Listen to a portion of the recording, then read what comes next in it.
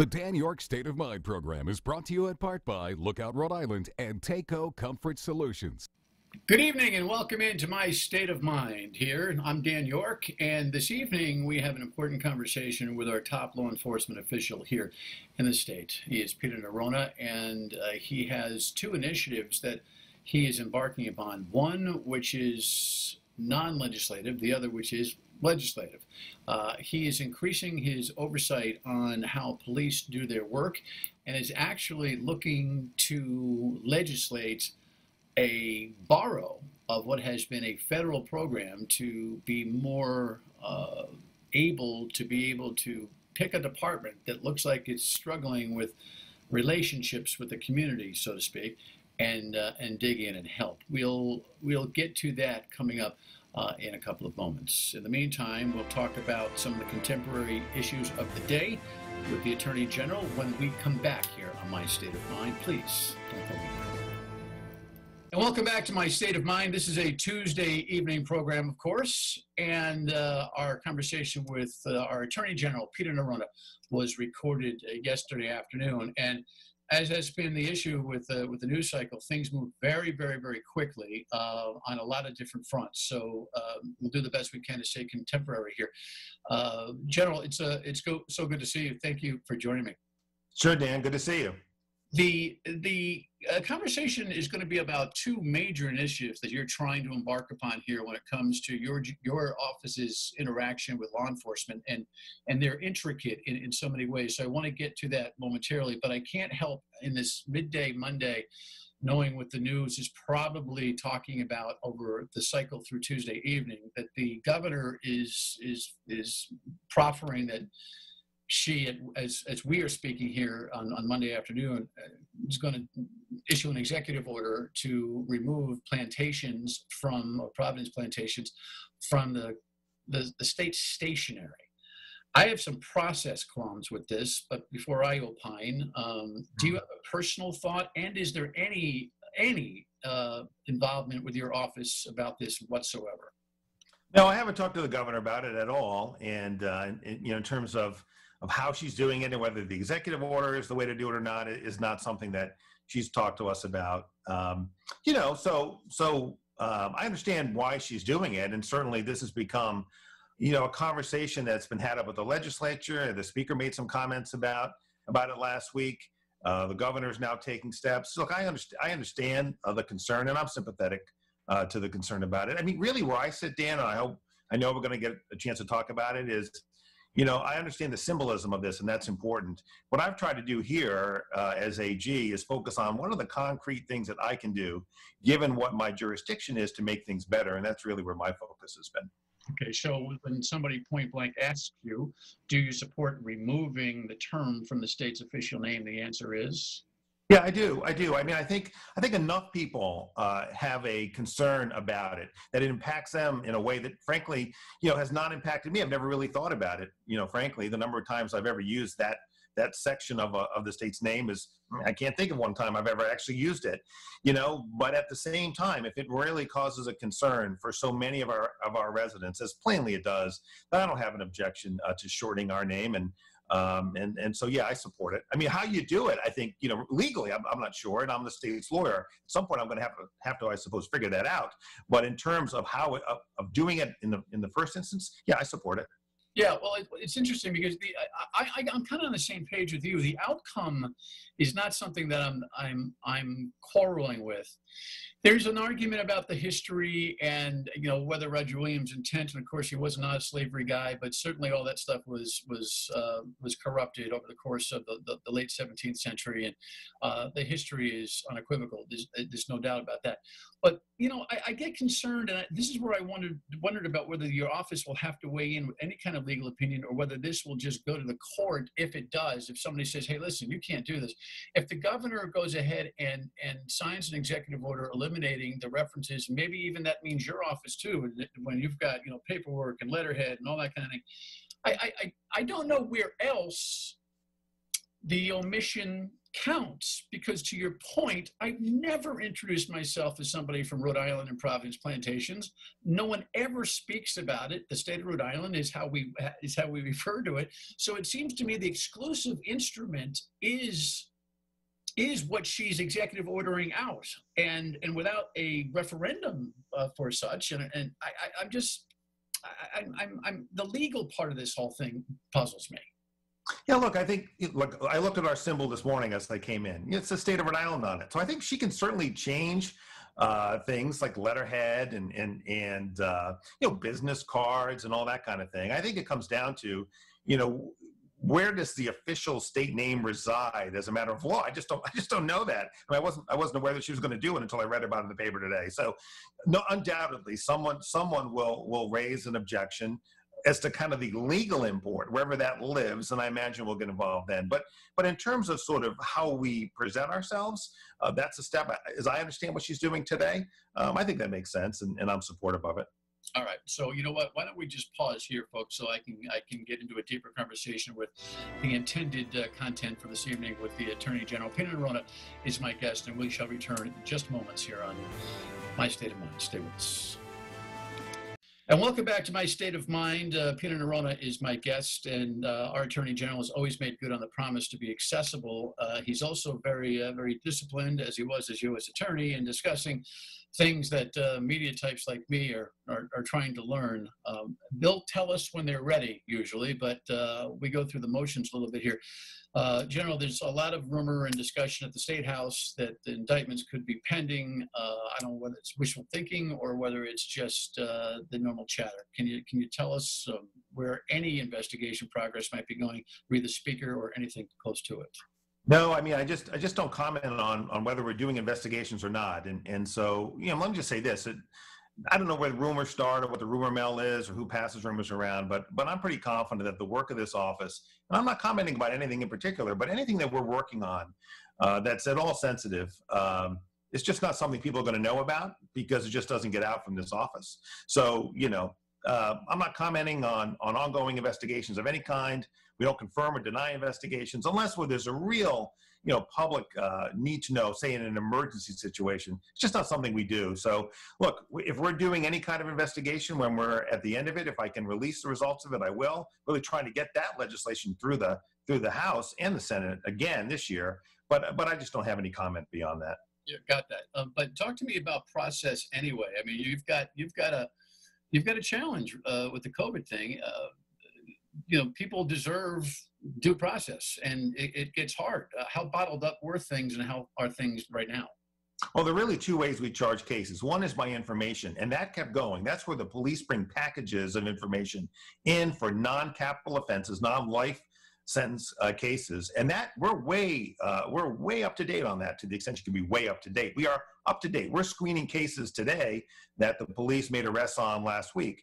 Where we've had a backlog is on the cases that require a grand jury. So that's capital offenses, ca- cases carrying up to a life sentence. We had to get that going by the end of May because if we didn't, because if we didn't, people who are facing those kinds of charges might be entitled to bail. And on serious cases like murder and sexual assault and child molestation, we don't want them back out there on the street. They have a right to a bail hearing, they've had that, but then we've got to get them indicted by a certain period of time. So the grand jury is focusing obviously on those cases first because they pose the greatest threat to public safety. All right, makes sense. Um, let's shift gears here and and talk about how tough a time it's been. I mean, this is this has been very difficult. Not only do we have uh, a disease that we're trying to cope and, and, and, deal with, we now have I don't know more tumult uh, in the country than I can remember in recent history. I was very young when the '60s and, and '70s were were very very difficult. So I don't think I have the personal credibility to compare them. Uh, but in, in my in my adult lifetime, I, I haven't seen it so contentious. Do you agree? I, I totally agree, Dan. Yes, yes, I, I totally agree. Particularly from a place of law enforcement, community relations. I don't think I've ever seen it this challenging. I've always been worried about that, about that challenge if it were to come. I think we're there now. George Floyd, God rest him, uh, is is at the heart of this, and the Atlanta case is is right behind it. And actually, there's I think there's actually some ironies in that that are uh, um, something we should talk about. Well, let's talk about the cases, then we'll talk about your remedies or, or your or your approaches, because I know you've got kind of a two-tiered thing. One is more immediate, the other is legislative. Um, uh, the Floyd thing was revolting to most, right? Uh, I'm guessing. No, sure. Sure, it's, it's just hard to watch that video and not and not come to any conclusion other than that's a police officer who's way over the line, way out of control. Um, and uh, you know the, the prosecutors have made uh, their decision out there to go forward. Makes sense, total sense to me. But but leave the law out of it. I mean, just to see it, uh, it just comes across as incredibly callous. Hmm. Um, so yeah, incredibly troubling, disturbing. and, and, and you know it took uh, Minnesota and its attorney general to get to a place where they actually upgraded the the the murder charge that that goes along with that. Ironically, in Atlanta with the Rayshard Brooks case, there are you know there are folks who who see the rationale based on the struggle that Mr. Brooks uh, engaged in and then ran.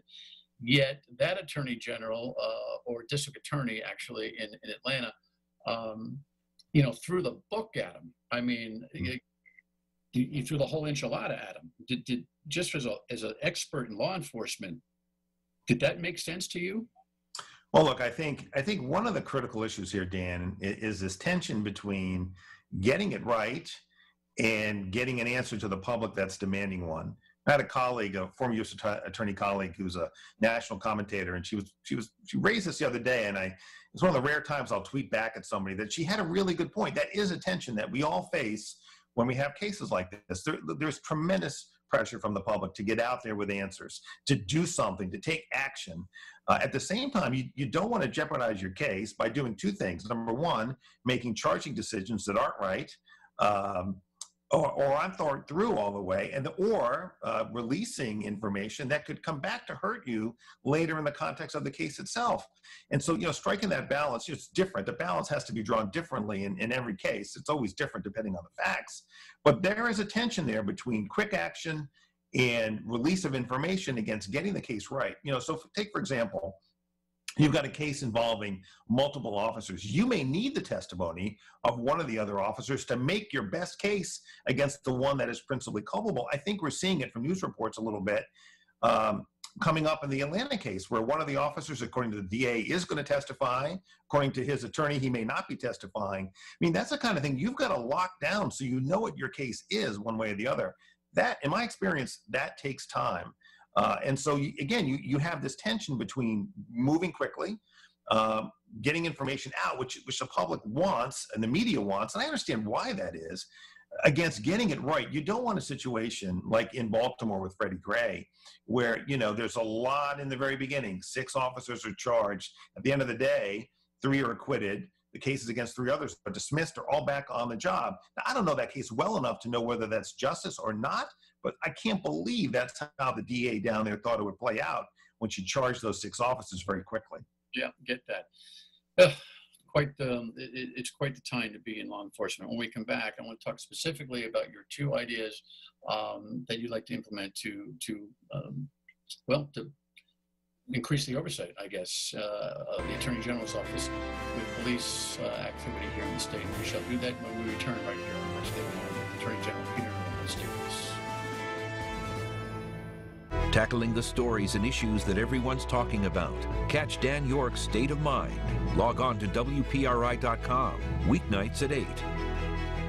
To my state of mind with uh, Peter Neronha, the Attorney General. So, right to it. You've got two initiatives. One seems to be uh, something you can move on immediately. The other is what you need legislation for. Explain, if you could, General. Yeah, sure. So there are really two things you're talking about in making sure that we're holding uh, those members of law enforcement who don't do the right thing, and that's that's clearly the minority. It's nowhere near the majority, but to handle that issue where police step over the line, there are really two ways to address it. One, we can control, and that is to review excessive force cases. We've had a protocol for a long time in this office since when Senator Whitehouse was AG, whereby this office uh, reviews use of force, deadly force by police, or custodial deaths We expanded that last week to cover all allegations of excessive force and uses of force involving serious bodily injury. I, I really do applaud the police chiefs for unanimously getting behind that expanded protocol. Um, I think that'll give us an opportunity. I'm confident it'll give us an opportunity to catch these cases in the bud. What really drives that, Dan, is that if we've got to see these cases when they're simple assaults you know when it's a punching or a kicking by a police officer for example when they're already in custody or in cuffs. If we don't nip that in that kind of conduct in the bud by bringing it to this office for review and potential prosecution then it could lead to something much worse down the road. Up to date up to now that review is being done by city and town solicitors. I think it's better if it's vested in this office and that's why we made that change. I could control that. Did you do did you get some bottom up um, and I say that respectfully with all the, the, the districts and the communities uh, and the municipalities, did you get some some bottom up feedback, especially in this tumultuous time, that they'd like the burden of that lifted or or at least um, shared by you? You know, certainly I talk. I have a community advisory board, which I hope reflects the the broader community, and I this is something I've been thinking about for a long time. Even before Mr. Floyd's death, we had two misdemeanor cases that, you know, Cranston and Providence brought to us voluntarily. You know, in the context of looking at those cases, I really felt like we ought to expand it. When I brought that idea to my community advisory board, it was just some people who volunteered to sit around a table with me from time to time and talk about community issues. You know, went over really well. It went over well with the City of Providence's community advisory board and some other community folks that I spoke to. But to me, it was really a matter of bringing consistency uh, to something which may not be handled in a consistent way and addressing these problems early within the criminal justice system. And I think it'll have good effect going forward. So how does that dovetail or, or um, let's graduate to the, to the next uh, initiative that, that you're looking for, and that is uh, something you need legislation for. What do you, what yeah. law do you want to write here? Yeah, so what we're looking for is, is civil pattern and practice authority.